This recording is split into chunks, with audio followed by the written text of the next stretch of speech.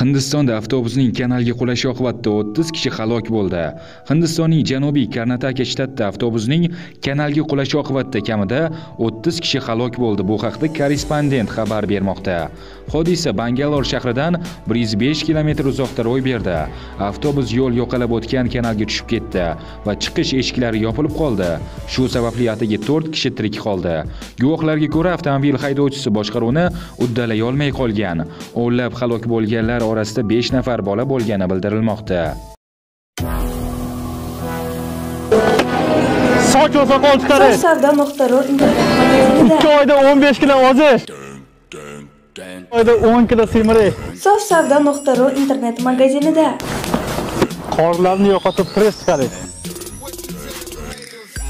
oyoq terlashi va tanadagi tuklarni yo'qotish. Sof savdo.ru internet magazinida. Oq dog' qora dog' psoriaz ajinlarni ketkazadi sof savdo.ru internet magazinida